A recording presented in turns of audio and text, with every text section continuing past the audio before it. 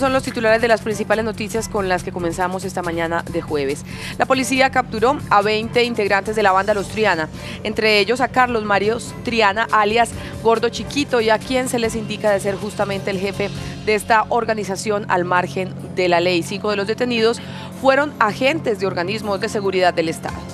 El ministro del Interior, Germán Vargas Lleras, advirtió ayer que con las bandas criminales puede haber sometimiento, pero que con ellas no se va a negociar nada.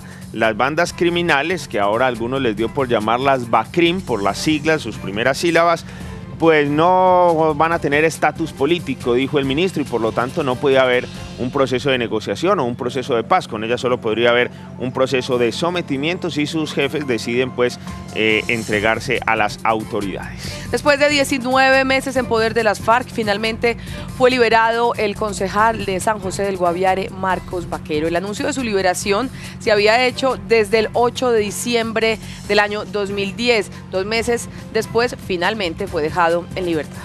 Y ayer, en un acto muy emotivo, fue inaugurada la primera parte del proyecto Plaza de la Libertad. Se entregaron las áreas comunes, las plazoletas, todo lo que va a ser pues, el área peatonal para que este espacio sirva de conexión entre el centro administrativo La Alpujarra y el sector de Plaza Mayor. En total, más de 13 mil metros cuadrados de espacios públicos, una zona arborizada muy bonita, una obra que tuvo un costo superior a los 130 mil millones de pesos. Inicialmente, reitero, se abrieron las zonas públicas, ya más adelante se abrirán los edificios, el contratista tiene plazo para entregarlos hasta el próximo 31 de marzo. Allí funcionará un hotel, alguna zona de comercio, un restaurante, eh, edificio, un edificio de 23 pisos en el cual estarán ubicadas algunas dependencias de la gobernación de Antioquia y el nuevo edificio, orgullosamente tenemos que decirlo, de nuestro canal regional Teleantioquia. Así el alcalde del municipio de Caldas, Luis Guillermo Escobar, le pidió a la comunidad de su localidad no almacenar ni malgastar el agua, debido a que la fuente principal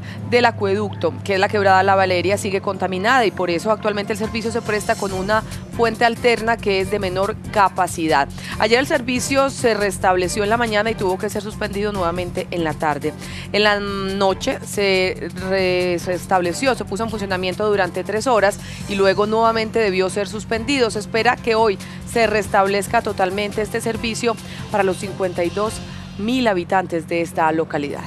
Y en el fútbol hay que decir que la selección colombiana que dirige Hernán Darío Gómez jugó un muy buen partido frente al campeón del mundo España. Por eh, desgracia se perdió el partido finalmente, faltando cuatro minutos, uno por cero. Sin embargo, dejó muy buena impresión el combinado nacional. No ocurrió lo mismo con la selección sub-20 que volvió a perder en el sudamericano que se disputa en Perú. Comenzó ganando el equipo de Eduardo Lara 1 por 0 y terminó perdiendo 3 por 1 frente al seleccionado chileno. Colombia marcha en el último lugar de la tabla de posiciones.